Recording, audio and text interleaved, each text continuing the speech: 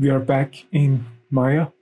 First, in the hypershade, we are going to add AI standard surface. So Arnold comes with a handful of presets.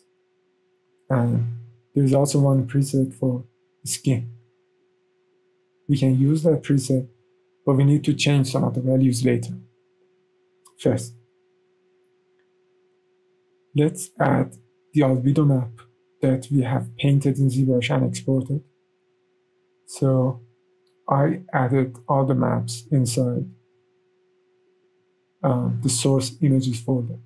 This is the folder that you need to have all the all the texture that you want to use specifically for your scene. You need to have inside this source images folder. Okay, let, let's add that map and let's connect that map to the subsurface color. For the subsurface type, I'm using Random Walk version 2, which is the most recent edition of subsurface for Arnold. You can try other types to see the difference. This, maybe there's not much difference between them. Now, let's just assign this material to the model. To light the scene, I usually use just a single area light. Let's just add an area light from the Arnold toolbar menu. So let's move it in front of the in front of the character's face. And I scale it roughly twice the scale of the model. So this would be size of the light. Let's also add a second perspective camera. So we're going to use this second camera specifically for rendering. So each time we move around around the scene, we don't have to move back to render the character. Just like the Arnold render view to this camera. Okay, as you can see, the scene looks very dark and we need to increase the light intensity. So let's do that. Let's also let's also go to render settings and change the image size to have a vertical orientation, which is suitable for portraits. Also, it's clear that subsurface scattering is too high. We have to lower the scale to around 10%. It might change based on the scale of your character, but here, somewhere around 10 to 12% is enough. Now, so we added the material to the model, but we haven't made the material for the hair. The hair is just default model, my material. Okay, so let's go ahead and make a standard hair material for Arnold. So the hair material is much more simple compared to, to, the, to the skin material. Here we have an attribute called melanin. 100% melanin means hair is fully black, while 0% means white hair. So we're keeping it around 60 70%. There's also melanin redness, which, as the name suggests, adds a reddish tone to the hair. Also, there is this melanin randomizer which assigns a random value to the hair across the surface. And finally, roughness and IOR, uh, which changes how the hair reflects light. The higher the IOR, the more reflective the hair will be. Now, okay. we have the material for the skin, we have the material for the hair. Now we need to add a material to the eyes. So the eyes consist of two different layers. There is iris and there is cornea and sclera. Cornea and sclera are one geometry. The iris is a separate geometry. So just like for the skin, we need another AI standard surface and we are adding the textures. There's two textures, one for the color of the iris and there is another texture for the displacement. So we add the color to both base color and the subsurface color. And the displacement, we need to add a displacement node. The displacement node is not specifically for Arnold. It's a it's a node that you use globally for different render engines. So let's add a displacement node and let's connect our displacement texture to displacement node. But remember that displacement is a single channel node. So you need to click on the plus button next to out color and connect one of those channels. Doesn't matter which one. I, I connect the red one. Okay, now for the cornea and the sclera, which is a single geometry, we need to add a layered material. So this layer consists of a material for cornea and a material for sclera because these are two completely different types of materials. The cornea is a clear material, like like a very thin glass. But the sclera is just like a skin, it has subsurface. So let's go ahead and add a material for cornea. And for cornea, I am using a preset that Arnold has for glass. So I'm going to replace that preset with the current settings. Okay, now let's make a separate material for sclera. For the sclera, we are using the same skin preset. Now, to connect these two materials to a single material, we need to add a AI layer shader, which is Arnold's layered material. Connect the sclera to input one and connect cornea to input number two. Okay, now we need to tell which part of this geometry is cornea and which part is um, sclera. To do that, we need to add a mask. And for the mask, we're using ramp. And we connect that ramp, connect one channel to mix number two, which is cornea,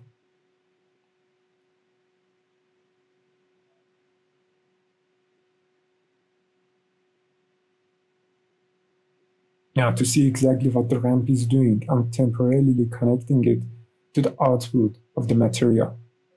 The white area is cornea and the black area is sclera.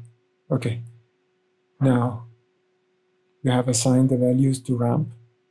Let's connect the material to the output and let's see what the final shader looks like. Let's go ahead and import our displacement map and connect one of the channels to the displacement node.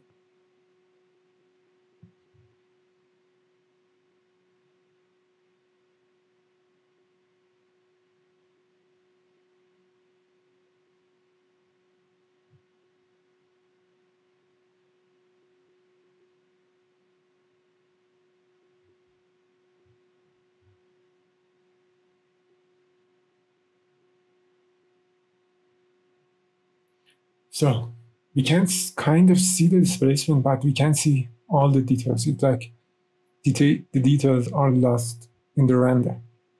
So to fix that, we need to make a couple of changes. In the attribute editor, in the Arnold section, changing the subdivision type to catclark, we are adding two iterations. We can go further, but be careful, you might crash Arnold. Change the adaptive space to object. Change the UV smoothing to linear because we don't want it to smoothie UV. In the displacement attributes, keep the height to 1, scale to 0. Also in auto bump, here's what makes the most noticeable change. You have to enable auto bump when you add a displacement to model your uh, finer details are going to get lost in the render. So we're going to compensate for that by enabling auto bump. So not only this displacement map changes the geometry itself, it also applies to the model as a bump map. Now, you can see that the details in the render are much more clear. So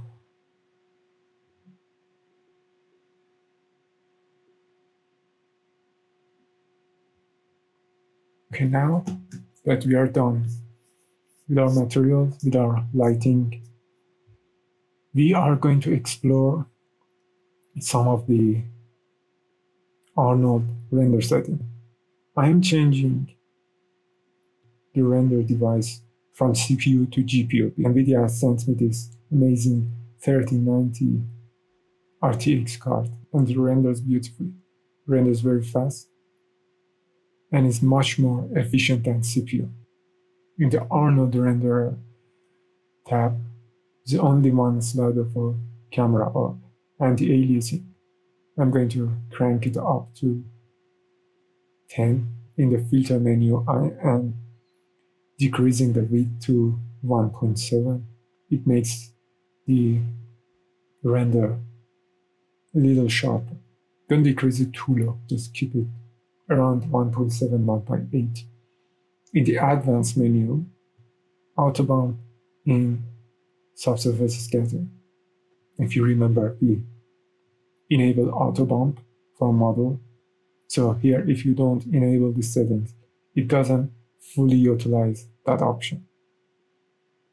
Now, there is one more value that we change and it's depth. So depth is the number of bounces that light could have in your render.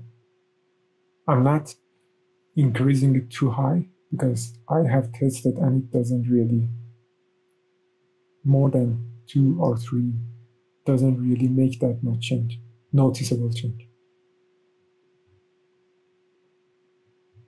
As you can see, compared to CPU, it's rendering much faster.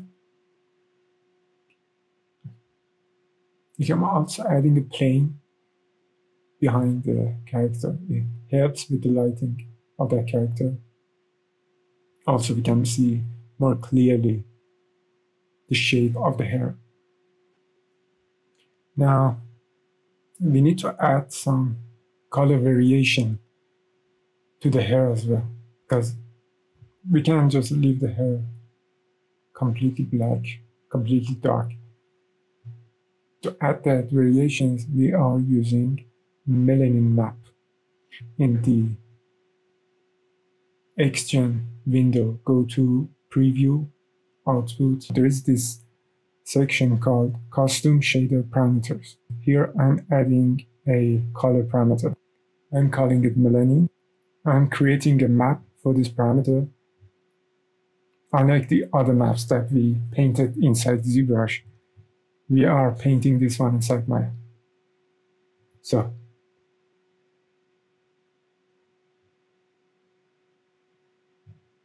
now remember each time you want to paint a map inside Maya, you have to switch materials.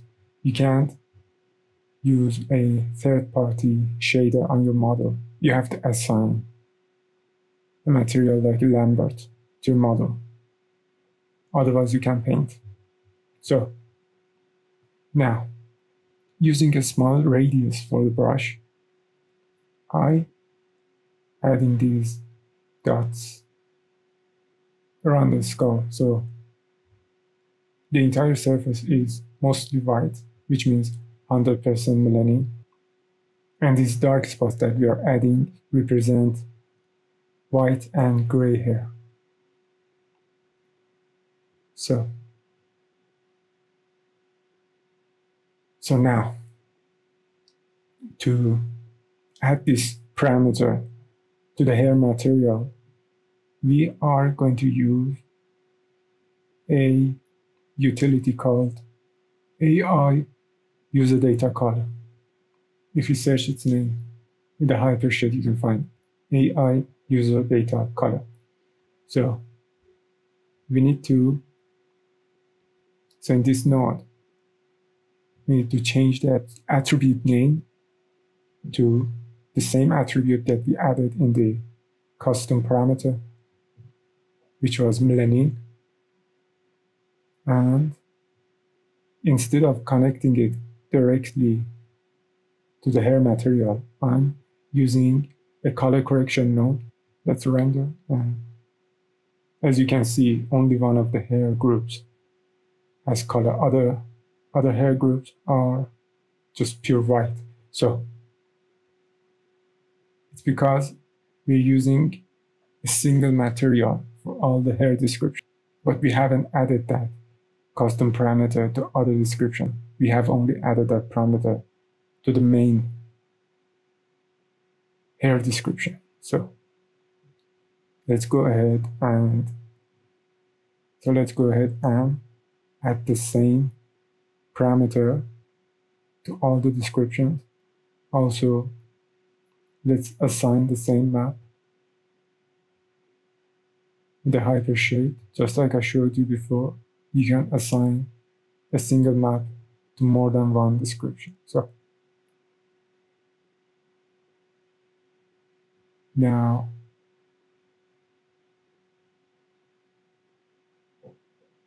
now let's add those white and gray hair areas to facial hair as well.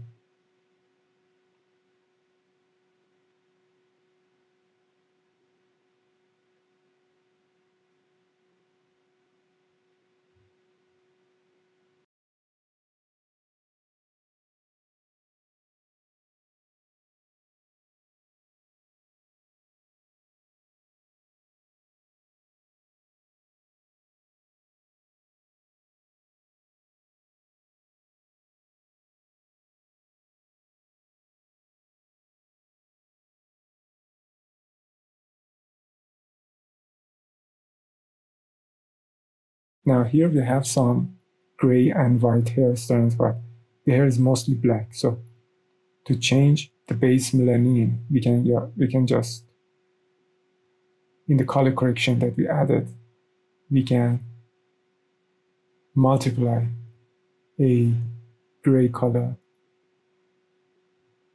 to the map. So instead of having 100% white, we're adding a percentage of gray to the map. You can also try changing contrast, try changing other parameters.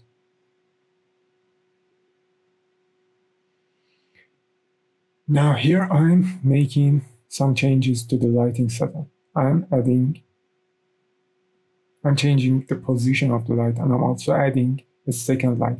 So there's one area light on top and there's another area light which is which has less intensity in front of the character. So the render looks fine, but it doesn't look photorealistic. There are a couple of changes that we need to make. First one is that the face looks kind of emotionless because when they make life masks, muscles on the face are mostly relaxed. So we need to have some of that expression, some of that emotion added back to the model. So to do that, I'm going back to ZBrush and I am using one of the references to try and see if I can maybe add a smile, very gentle smile, and also add some expression to the eyebrows.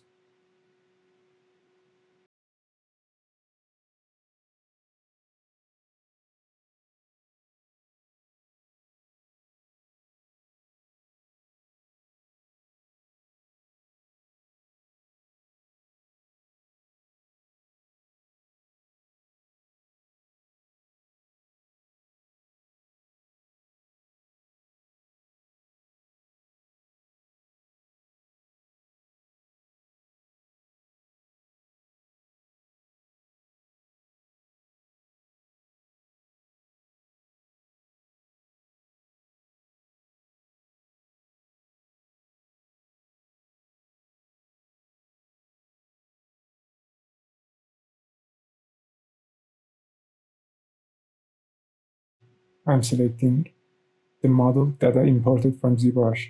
Then I'm selecting the model that we already had. Then in the top bar menu, the deform menu, click on the box next to blend shape. I'm going to choose a name for that blend shape and I have target shape option as check topology. So let's click create. It gives us this plane. So there's another problem that I have with this render is that the skin color, it just looks too flat. It doesn't, the color variation is not enough. We need to, we need to add more variations to the color. So Let's switch back to ZBrush. I am just trying to add more variations and more details to the albedo map. Trying to add more vivid colors on the face, more reddish color around the ears, more color to the lips, more saturations to the cheekbones. To the nose, trying to add a couple of more darker spots also.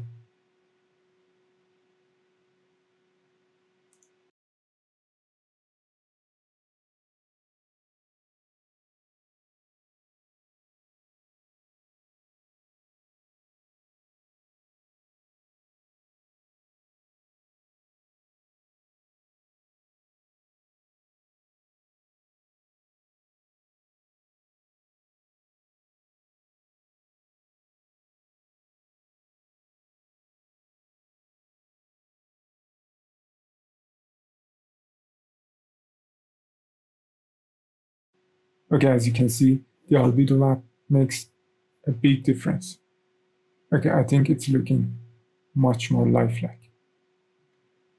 And okay, you can keep improving the model. You can keep improving the hairstyle. Keep working on the skin details. There's much more you can do. There's much more you can explore, but that's all that time allows for this video series. Keep learning, keep practicing, and good luck.